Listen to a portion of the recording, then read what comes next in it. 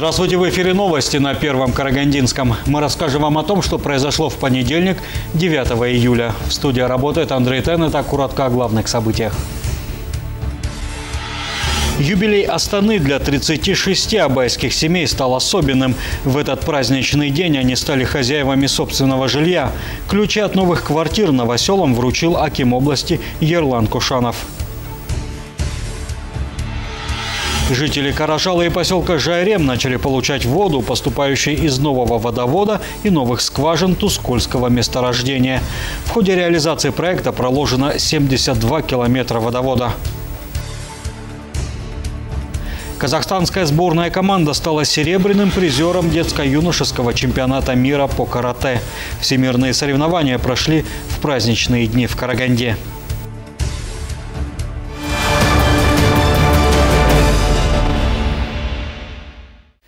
И теперь подробнее об этих и других событиях. Юбилей Астаны для 36 абайских семей стал особенным. В этот праздничный день они стали хозяевами собственного жилья. Ключи от новых квартир новоселам вручил Аким Карагандинской области Ерлан Кушанов. Жительница Абая Наталья Столбова – многодетная мать-одиночка. Долгие годы она то снимала квартиру, то проживала у родителей. Сегодня сбылась ее мечта. Она стала обладательницей собственной квартиры. Сегодняшние ощущения она назвала одним словом – счастье. У нас сегодня счастливый момент, конечно, мы получаем квартиру. Мы ждали это 9 лет до этого то снимали, то у родителей жили, как бы постоянно жили на квартирах, а теперь у нас будет свое. Не знаю даже, как сказать, наверное, переполняет счастье. Квартиры в новостройках получили 36 семей. Это дети-сироты, многодетные семьи, матери-одиночки, люди с ограниченными возможностями. Обращаясь к горожанам, глава региона Ерлан Кушанов в первую очередь поздравил всех с 20-летним юбилеем Астаны. Он отметил, что это праздник не только станчан, но и всех казахстанцев. Аким области также отметил, что сегодня делается многое для жителей Абая и всего Абайского региона. Город преображается, вы сами это видите, я думаю, чувствуете. Каждый раз приезжаю. Я люблю сейчас приезжать в Абай, потому что каждый раз мы видим что-то новое. Буквально на сегодня мы активно строимся здесь. В первую очередь строим социальные объекты. И эта работа будет продолжаться. В следующий год мы планируем построить еще 80 квартир мы сдадим. И э, не только в районном центре, а в этом городе. Мы на других населенных пунктах также, также будут строиться и социальные объекты, и жилье. По словам подрядчика, строительство двух жилых многоэтажек заняло не больше года. Общая площадь девятиэтажного 36-квартирного жилого дома – 2000 квадратных метров. В ближайшее время будет благоустроена прилегающая территория. А, дом начал строиться а, в конце а, августа 2017 года. В этом году мы уже менее чем за год построили данные дома, 72 квартиры. А, первый дом у нас уже заселен, сейчас сегодня мы заселяем второй дом, вручаем ключи жильцам. Технология уже обновилась, она идет в ногу со временем, современная. То есть здесь используются панели 40-сантиметровые, утепленные. То есть э, качество жилья соответствует всем международным стандартам как бы, и ничем не уступает другим домам, выполненных из других материалов. То есть дома действительно качественные и хорошие. По словам специалистов отдела ЖКХ Акимата Абайского района, жилье предоставлено по четырем направлениям программы «Нурлыжер». Это арендное жилье для социально уязвимых слоев населения без права приватизации. Хозяева ежемесячно, кроме коммунальных услуг, оплачивают еще и аренду. На сегодняшний день в очереди на получение жилья стоят около двух тысяч человек. В следующем году планируется строительство 80-квартирного пятиэтажного дома. Андрей Теншал, Карл Тенбеков, Андрей Тимофеев, Первый Каргандинский. В селе Коксу Абайского района появится новый физкультурно-оздоровительный комплекс на 160 мест. 7 июля здесь состоялась церемония закладки первого камня будущего строительства. В мероприятии принял участие глава региона Ерлан Кушанов. Первого кирпичика, который ляжет в основу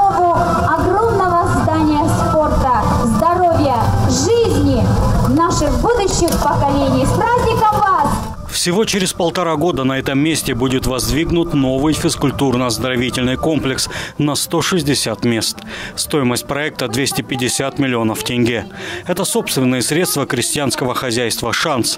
Общая площадь двухэтажного здания спортивного комплекса составит более тысячи квадратных метров. Инициатор и организатор строительства, предприниматель, глава крестьянского хозяйства Игорь Жабяк. Глава региона Ирлан Кушанов отметил, что для реализации программы Рухани Жангару многое делается и самими жителями регионов. Вот наглядно сегодня пример.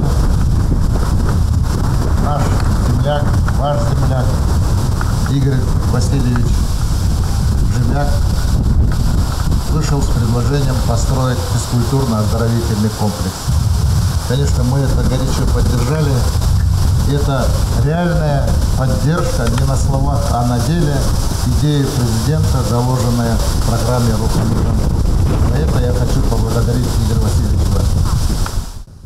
Необходимо отметить, что в Абайском районе многие бизнесмены и руководители предприятий откликнулись на призыв и приняли участие в реализации проектов программы Болошаха Багдар Рухани Жангару. Э, я решил построить спортивный комплекс, чтобы не только в городах и спутниках строить, но и на селе. Пришло время. Поэтому на селе мы должны жить так же, как живут люди в городе. Ничем не хуже. Поэтому я хочу, чтобы мое подрастающее поколение, именно Боксуна, чтобы они оставались здесь, на родной земле, так же, как и остался здесь я. На первом этаже проектом предусмотрены тренажерный зал и зал для игровых видов спорта. На втором этаже помещение для занятий борьбой. Срок окончания строительства – декабрь 2019 года. Андрей Теншал, Карал Тынбеков, Андрей Тимофеев, Первый Карагандинский. Жители Каражала начали получать воду, поступающую из нового водовода и новых скважин Тускульского месторождения.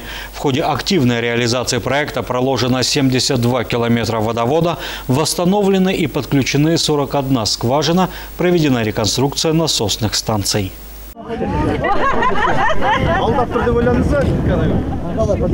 У жителей города Каражал и поселка Жайрем настоящий праздник. Впервые за долгие годы в домах появилась холодная питьевая вода. Причем не на полтора часа в сутки дважды в неделю, а круглосуточно. Обеспечение водой жителей Каражала и поселка Жайрем Аким Карагандинской области Ерлан Кушанов назвал одной из главных задач, которые предстоит решать в нынешнем году. Об этом шла речь на последней отчетной встрече главы региона с населением. И вот первые литры воды из новых скважин Тускольского месторождения пришли в город. В результате проведенной работы Комитетом по водным ресурсам местных исполнительных органов при поддержке акционерного общества «Касцинк» было обеспечено строительство 73 километров водовода, э, было обеспечено развитие э, самого непосредственно Тускольского месторождения. И на сегодня мы имеем первую воду, которая пришла по данной новой ветке водовода в город Каражал. В ходе активной реализации проекта проложено 72 километра водовода диаметром 315 миллиметров. Восстановлены и подключены сборными водоводами 41 скважина. Проведена реконструкция насосных станций. Для того, чтобы полностью устранить дефицит воды, Акимат Карагандинской области заключил договоренность с компанией «Казцинк» на поставку 15 километров пластиковых труб. Кроме того, в этом году в рамках программы развития регионов началась реконструкция водопроводных сетей в поселке Жайрем на общую сумму 900 миллионов тенге. Ну, сейчас есть, а, есть вопросы по автоматике, которые мы сейчас дорабатываем. Полностью, а почему? Потому что полностью от Тускольского водозабора до Каражала она будет автоматизирована.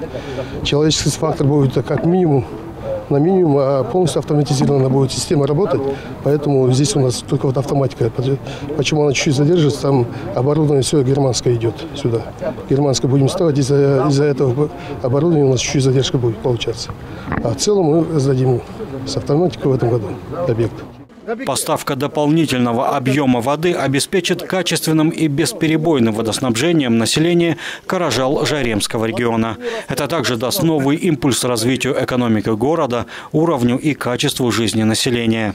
Только что мы являлись свидетелями того, что наконец-то впервые за всю независимость нашей республики в преддверии 20-летия нашей столицы, нашей родины Астана, наш город Каражал получил воду по второму трубопроводу. В ближайшие дни мы выйдем на круглосуточное водоснабжение нашего города.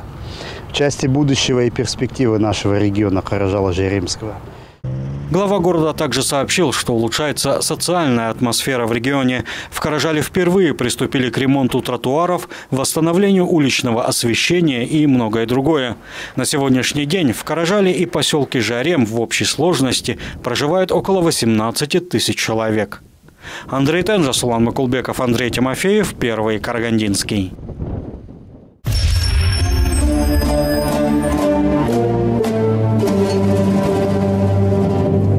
В некотором царстве жили король и королева. Росли у них три дочери принцессы. И вот однажды злая колдунья предвещала, что принцессы заболеют инфекцией. Но король с королевой узнали, что волшебная вакцина спасет их детей, и они никогда больше не заболеют. Завтра я поведу вас на прививку. А теперь пора спать. Подготовлено Национальным центром проблем формирования здорового образа жизни Министерства здравоохранения Республики Казахстан.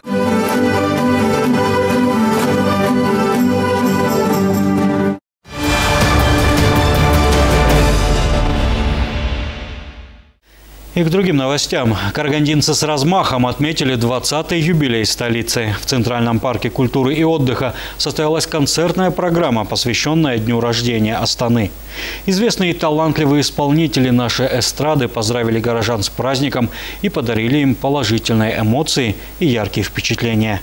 Поздравил карагандинцев и Аким города Нурлан Аубакиров. 6 июля юбилей столицы широко отметили не только станчане, но и карагандинцы. В Центральном парке культуры и отдыха на протяжении всего дня длилась праздничная программа «Елемнің Тумара Астана». С поздравительной речью карагандинцам обратился градоначальник Нурлан Аубакиров. Примите искренние поздравления с Днем столицы. В этом году он особенный, ведь мы празднуем юбилей 20-летия Астаны. Этот праздник имеет важное общественно-политическое значение и является поистине общенародным для всех казахстанцев. Празднику Центральный парк украсили цветочными композициями и символами Астаны. Так, у большого золотистого шара, олицетворяющего верхний уровень самой главной достопримечательности столицы – монумента Байтерек, карагандинцы могли загадать свои самые сокровенные желания. Этой возможностью воспользовалась и маленькая Оружан. Я пожелала, чтобы у меня была самая веселая семья, чтобы я никогда не болела, чтобы я была веселой, взрослой, красивой, и чтобы я была богатой. И потом, э, чтобы я всегда, э, всегда не обижалась и была хорошей девочкой. Карагандинцы отметили, что праздник им очень понравился, а также поздравили всех казахстанцев с Днем столицы. Ну, хочу поздравить всех с праздником, с Днем столицы, с днем рождения. Хотим, чтобы она процветала, была такой же красивой и дальше росла. И всем казахстанцам здоровья, счастья, любви. Праздник классный, погода хорошая, не сильно жарко и, и столько народу. Все здорово. Я рада, что именно такой важный день для нашей семьи совпал именно сегодня с празднованием Днем рождения Астаны. И хочу поздравить всех казахстанцев с этим знаменательным днем. В ходе мероприятия первостроителям Астаны карагандинцам были вручены юбилейные медали «Астанага Жирмажил». Своими красочными выступлениями на концерте жители и гостей города обрадовали яркие звезды эстрады, такие как Айри, Зируза, Алиокапов и Мадина Садуакасова. Стоит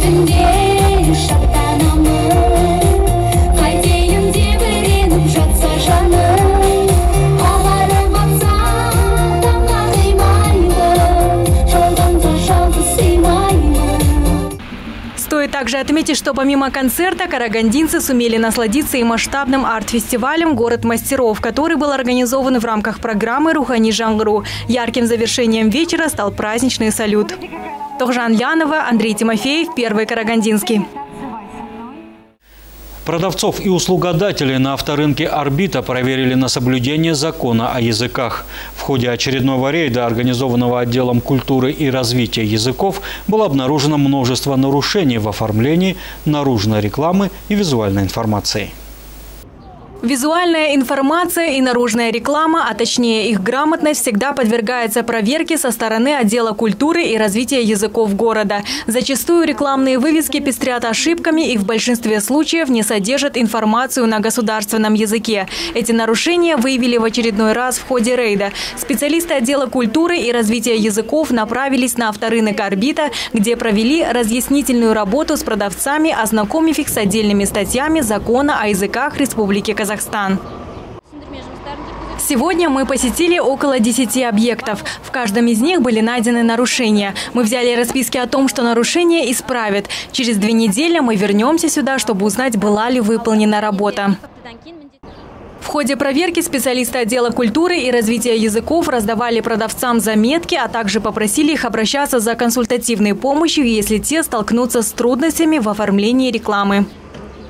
Это вам памятка. А, в любой вопрос, например, будет по переводам, вы можете на этот указанный номер звонить и спросить. И это вот э, Тулепова, Хараганды Магнит а, Можете на эту номеру всегда мы будем отвечать. И вы мне переведете все как Да, да, да, да, без проблем. Работы по выявлению нарушений в оформлении наружной рекламы и визуальной информации в городе проводятся на протяжении нескольких лет. Однако, несмотря на это, количество нарушений не уменьшается. Зачастую услугодатели, пренебрегая законом о языках Республики Казахстан, не указывают на вывесках нужную информацию на казахском языке. Тохжан Лянова, Аман Кожанов, Андрей Тимофеев, Первый Карагандинский. В городской комплексной детско-юношеской спортивной школе появилась новая мини-футбольная площадка. В текущем году на остановку площадки и ремонт фасада здания было потрачено около 30 миллионов тенге. На церемонии открытия побывал Аким Караганды Нурлан Аубакиров.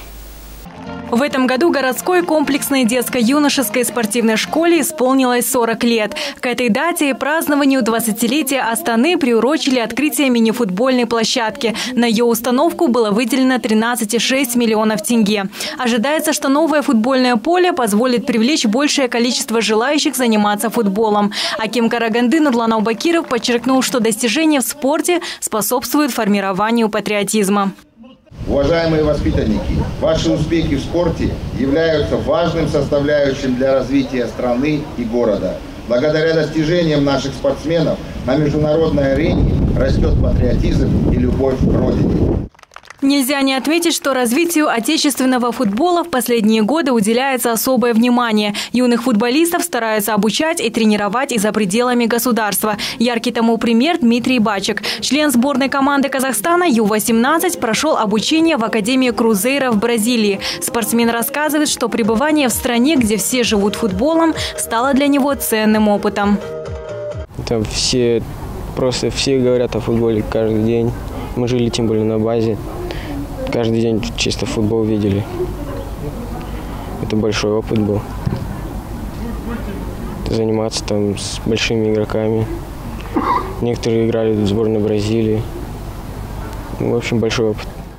По завершению торжественного открытия учащиеся спортивной школы успели опробовать новое поле. В настоящее время в школе занимаются футболом 156 учащихся в 12 группах. Следует отметить, что школа получила не только новое поле, но и ремонт фасада здания, который обошелся в 15,6 миллионов тенге. Руководство школы уверено, что улучшенные условия для занятий спортом ускорят успех воспитанников школы.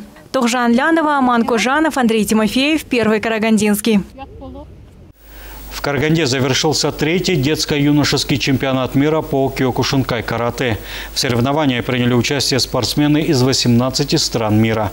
Торжественную церемонию открытия посетили почетные гости из Международной организации карате, Всеяпонского союза карате киокушинкай, а также представитель Министерства культуры и спорта и заместитель Акима Карагандинской области Жандос Абишев.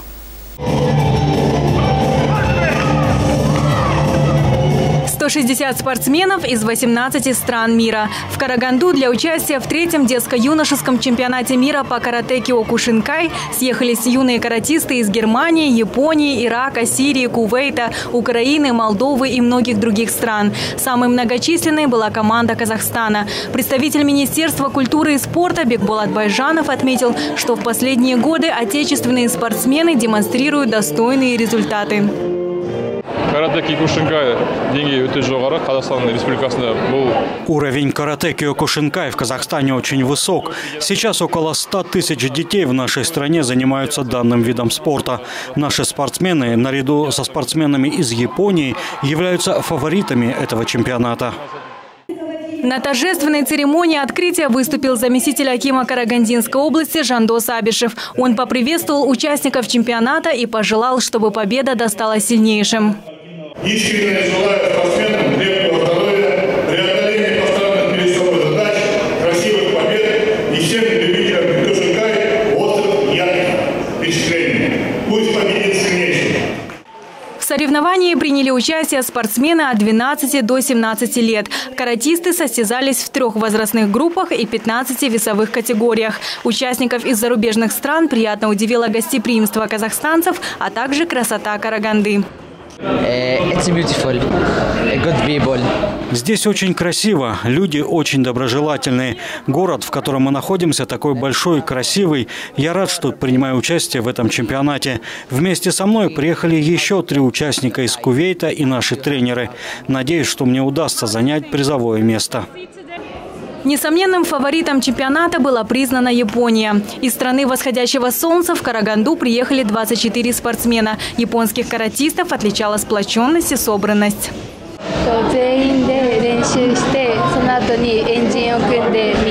Перед выходом мы собираемся всей командой и стараемся подбодрить друг друга. Мы кричим наш девиз «Давайте постараемся победить». Я люблю карате. Благодаря занятиям карате я чувствую, что живу полной жизнью. Одну треть участников чемпионата мира по киокушинкай карате составили отечественные спортсмены. Они подчеркнули, что нацелены на самый лучший результат. Значительную поддержку нашим спортсменам оказали родные стены и громкие возгласы болельщиков. Я очень счастлив, что все нас поддерживают. Это не может не радовать. Все мы пребываем в хорошем настроении. На прошлом чемпионате Казахстан занял второе место. В этом году мы постараемся стать первыми. Однако и в этот раз удача улыбнулась японцам. По общим итогам они заняли первое место. Наша команда расположилась на почетном втором месте. Третью ступень пьедестала заняла Россия. Итогами и организацией чемпионата мира по киокушинкай карате остались довольны и казахстанцы, и зарубежные гости. Аким области Ерлан Кушанов встретился с представителями международных и национальных организаций, а также выразил благодарность, что местом проведения столь крупного спортивного состязания была выбрана Караганда. Участники встречи сошлись во мнении о том, что для развития карате и спорта в целом необходимо открывать детские дворовые клубы, чтобы подрастающее поколение имело возможность проводить свой досуг с пользой. В свою очередь, всеказахстанская организация Киокушинкай карате поблагодарила Ерлана Кушанова за поддержку в проведении чемпионата мира.